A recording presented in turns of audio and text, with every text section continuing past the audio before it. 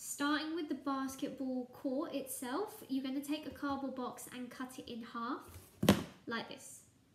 So once you've cut it in half, you can undo these two flaps so you've got like a bit that you can rest your hand on when you dunk your basketballs and you can cut these wing bits off so they fold back so they're not in the way.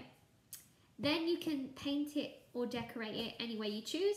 I'm going to stick with the traditional yellow basketball court. You can paint the outside and the inside parts, whatever colours you would like. So the first thing you're going to do is create your basketball hoop. So you're going to take a piece of toilet roll tube. You can make it as thick as you'd like. I recommend making it at least two to three centimetres thick. You're going to cut a section.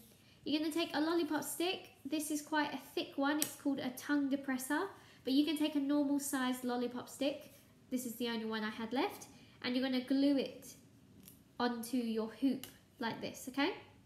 So glue this together and then you can paint it any colour you'd like. I'm going to paint mine red. So here is my one painted. Once you've painted it, you're going to take your lollipop stick and your hoop that you made earlier and stick it into the centre of the long top edge of your box. And then if you'd like, you can create a backboard such as this one, which is just a white rectangle of cardboard. And that's what you'll have so far. I've kept this flat as something to rest my hand on, but you could cut it off if you don't, if your box doesn't have it, it doesn't matter, okay? So now we're gonna take a marker pen, I'm taking a black Sharpie and I'm gonna start to make the markings of my basketball court. I'm going to use a nice ruler to do this. I recommend you do the same. You want this to look nice and neat, so you're going to take your time. So the first marking I'm going to make is going to be a rectangle, which comes out from my basket point. Um, so I'm going to draw two straight lines running up to about halfway. I'm going to do the same on the other side. Just like that, okay? Now, about a centimetre's width from the edge of my uh, basketball court, I'm going to start to draw two lines. Can you just see one line there, which is going to start to form the other markings, which is a semicircle, and that's going to give you your point lines and help you define how many points a basket is worth, okay? So you should start with four lines just like this. Nothing fancy at the moment, okay? Now I'm going to start to draw some semicircle shapes and a circular shape in the centre of my court. So I'm going to grab something circular to draw around. You can use a glass, a cup, a mug, whatever you have that's close at hand. So I'm starting with the circle, which is going to be at the halfway point, right where my box ends, okay? So I'm going to draw a circle here to make a halfway point. Then right down that edge where I'm going to place my hand to rest, I'm going to draw another black line to give me my black outlines for my centre marking point.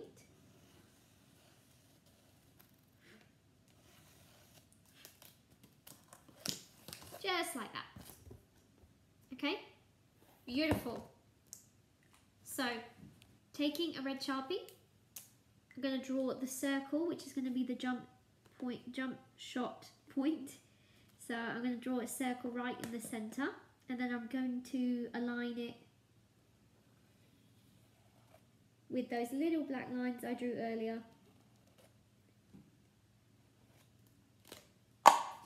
Just like that. Okay, so again, you now want to draw a line down your semicircle. Uh, down your circle to make it a semicircle, sorry. I don't know what I was thinking then, I just stopped talking straight away.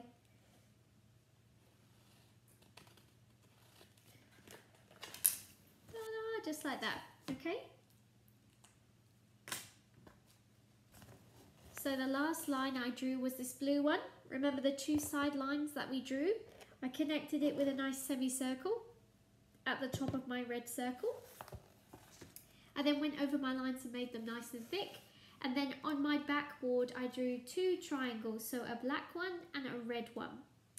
Now there's a couple of extra things you can do before you start playing with your miniature basketball court. I'm going to create a net for my uh, basket hoop um, and I'm also going to create a score keeper. So I'm going to show you how I do those next, but these are optional extras you can make if you want to. So to make my basketball hoop net, I took some of this material which actually came around my oranges. So I took this material off of my orange bag um, and I cut a triangle and glued or taped it into the inside of my hoop and then I just cut some triangles at the bottom so that my bouncy balls could fit straight through and fall in. Okay, so that's added extra. Again, this came off of my oranges. You probably get the orange variety, which would look really cool if you painted your stuff orange instead of red. I only had this black variety, but that's what you can use to create the netting really, really easily. So to make my scoring system, I'm taking an old um, folder, such as this one, one that has this ring binding in the middle, um, and I'm going to create my own score system. So let's close that for a second. I'm going to take some sheets of paper. I'm going to take 10 sheets of paper and I'm going to fold them in half, just like this.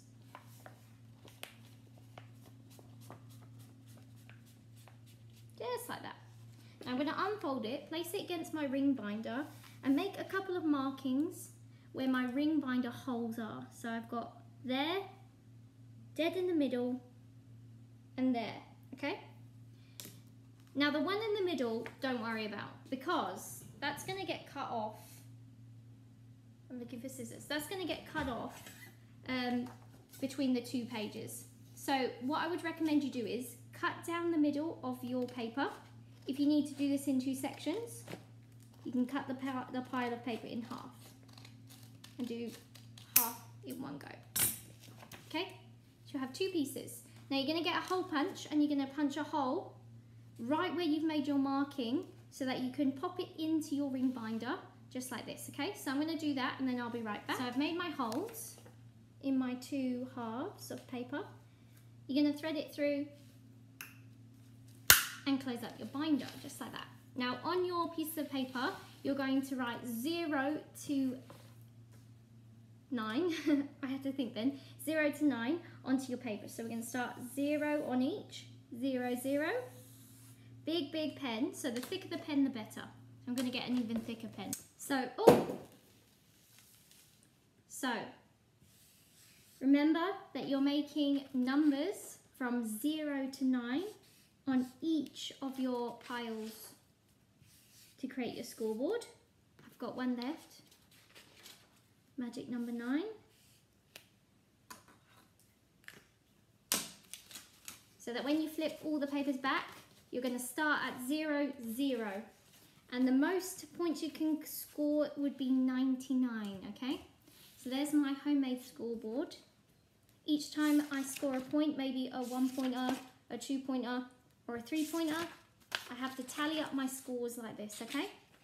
A nice simple way to make a homemade scoreboard. So now that we've made our scoreboard, we've made our basketball court, you're ready to play. You can use bouncy balls, you could use rubber ball bands, anything that will fit within your hoop that gives a nice bounce. That will be really effective. So guys, that's how you make my miniature Olympic basketball court for your finger Olympics at home.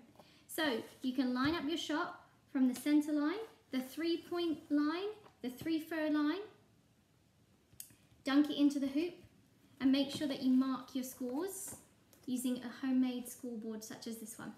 I hope you had fun making this craft with me. I'll see you next time. See ya, bye.